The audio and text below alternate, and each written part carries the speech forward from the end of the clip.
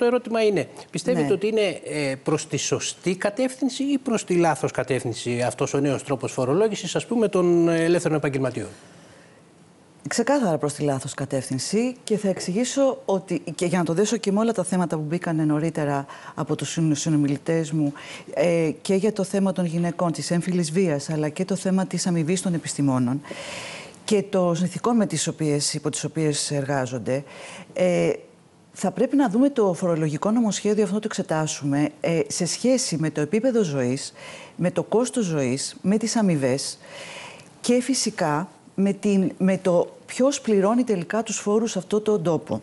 Και τι εννοώ, ε, γνωρίζουμε από στοιχεία του Γραφείου Προπολογισμού της Βουλή- Βουλής ότι το 95% των φορολογικών εσόδων, τουλάχιστον αυτά είναι στα στοιχεία του Απριλίου, προέρχονται από, τις, λε- α- από τα νοικοκυριά έναντι του 5% που προέρχονται από τις μεγάλες επιχειρήσεις, τους μονοπωλιακούς ομίλους. Ξέρουμε επίσης ότι σε αυτό το μείγμα το 60 σχεδόν στα 100 είναι έμεση φόροι, που είναι ο πιο άδικος φόρος αυτός που πλήττει ευθέως τα λαϊκά εισοδήματα, ειδικά τους χαμηλόμισθους.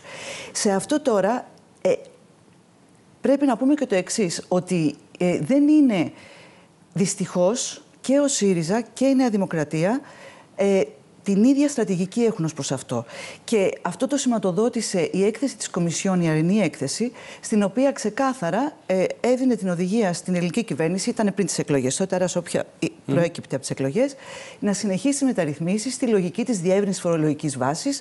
Αυτό κάνει τώρα η, η, η Νέα Υπάρχει Δημοκρατία. μια δημοσκόπηση όμως, κυρία Κτενά, ε, πρόσφατη κιόλας, την έκανε η πάλση για λογαριασμό του Sky, όπου το 60% των ερωτώμενων είπε πως είναι προς τη σωστή κατεύθυνση με κάποιες διορθώσεις η πρόταση για το νέο φορολογικό. Ε, για το νέο τρόπο φορολόγησης. γιατί- ναι. Το 30% είπε ότι είναι προς λάθος κατεύθυνση. Και μάλιστα να το πάω και λίγο πιο πολιτικά, στην κεντροαριστερά το 51% το βλέπει θετικά αυτό το νομοσχέδιο και το 41% το βλέπει αρνητικά. Ναι. Δεν σας λέει Εδώ κάτι πέρα- αυτό; Μου λέει το, ότι μπο- το πώς ρωτάς, το τι ρωτάς και το με τι στοιχεία απαντάει ο άλλος είναι θέματα που πρέπει να ανοίξουμε κάποια στιγμή και να δούμε κατά πόσον έχει όλα τα στοιχεία στη- στη- στα χέρια του κάποιος που απαντάει σε τέτοια ερωτήματα. Και να πω το εξής.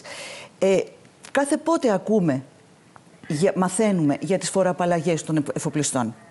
Πόσοι ξέρουν σήμερα που μας ακούν για τον αναβαλλόμενο φόρο των τραπεζών; Πόσοι ξέρουν από, ότι από τις οφειλές που υπάρχουν από ε, φόρους το μεγαλύτερο, το, το, το, με- την, η μεγαλύτερη, δεν θυμάμαι- δεν θυμάμαι το ποσοστό, είναι πάνω από 60% που θεωρείται μη εισπράξιμο από τις κυβερνήσεις, γιατί δεν μπορούν με διάφορους τρόπους να αγγίξουν... Με πιέζει και ο το- χρόνος. το, τους, πραγματικά το μεγάλο κεφάλαιο που μπορεί να, φοροαπο, να φοροδιαφεύγει νόμιμα ή να φοροαποφεύγει ή και να χρωστάει και να μην μπορείς να τα πάρεις με διάφορους Κύριε τρόπους. Συρίγου, κυρία Κτενά, ε, σας βοηθάει με τρεις λέξεις παρακαλώ. Η κατάσταση που υπάρχει αυτή τη στιγμή στο ΣΥΡΙΖΑ σας βοηθάει εσάς ως κόμμα; Για εμάς τα ωφέλη δεν είναι ε, πρόσκαιρα ή μόνο ψηφο, ε, σε ψήφους. Εμείς αυτό που προσδοκούμε και καλούμε τον ελληνικό λαό και τον κόσμο που έχει ακολουθήσει το ΣΥΡΙΖΑ στο παρελθόν και πίστεψε ότι ο ΣΥΡΙΖΑ θα μπορούσε να δώσει διέξοδο στα προβλήματά του, να βγάλει τα συμπεράσματα που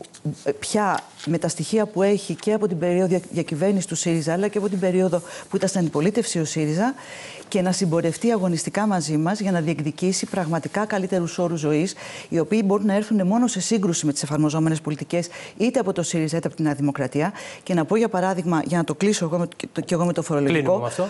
ότι αυτή τη στιγμή αυτό που μπορεί πραγματικά να δώσει ανακούφιση στα λαϊκά, λαϊκά νοικοκυριά και να δώσει ανακούφιση στους μικρούς αυταπασχολούμενους που πραγματικά κινδυνεύουν να κλείσουν τα γραφεία τους, τα μαγαζιά τους, είναι 12.000 ευρώ αφορολόγητο, συν 3 συν 3.000 ευρώ για το κάθε παιδί και όχι αυτή η φορο- φορομπηκτική Κυρία που Κτενά, κύριε ασκείται, Φαραντούρη. μαζί με κατάργηση των, του ειδικού φόρου κατανάλωσης στα καύσιμα και του ΦΠΑ στα Θέλω να λαϊκά σας ευχαριστήσω αντικατανάλωση. πολύ.